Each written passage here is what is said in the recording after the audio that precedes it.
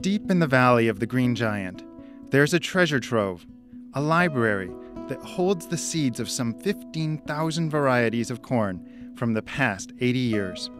There's sort of this tendency to think that the vegetables that we see today are, are what we've always eaten and, and the heirloom varieties have always been out there and they've always been great. Um, it, it, it really isn't the case. Corn, in fact, did not exist until about 10,000 years ago. There's a primitive crop called teosinte that has about six kernels on it that was sort of the precursor to corn.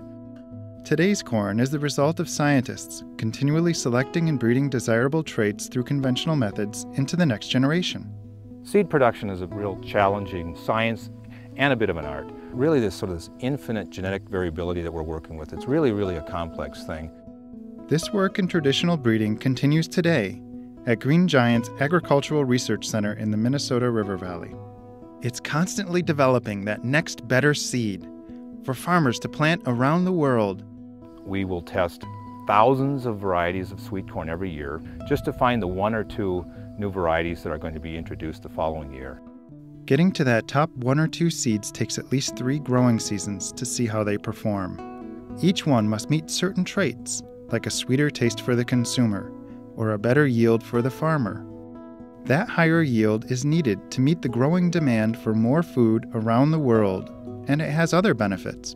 If we can produce more corn on less acres, that's better economics for the farmer. That also means it's less water use, it means it's less fertilizer use, it means it's less pesticide use. We produce twice as much corn today on an acre of land as we did 30 years ago. That accomplishment speaks to Green Giant's commitment throughout the decades to grow a better sweet corn in a sustainable way.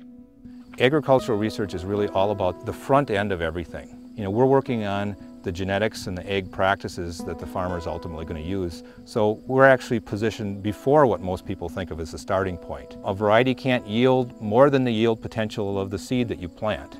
So it's this quiet thing that we do on the very front end, but it's really what a lot of Green Giant is about today.